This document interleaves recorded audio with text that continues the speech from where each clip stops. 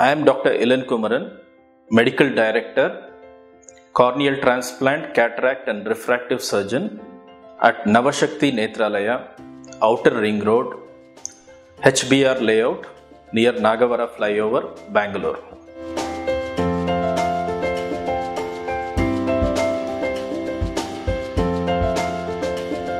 It's difficult to explain in a few minutes the difference between a spherical and a cylindrical lens.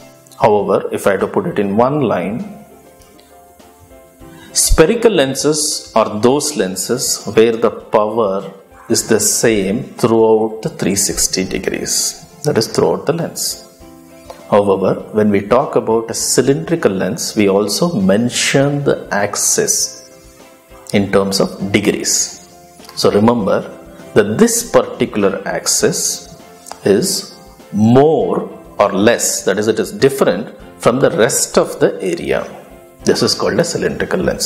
The rest of the area can be zero, and this particular axis can have something when it is called a plano cylinder, or the rest of the axis can also have a sphere, spherical power, and there can be an additional power when it is called a spherocylindrical power.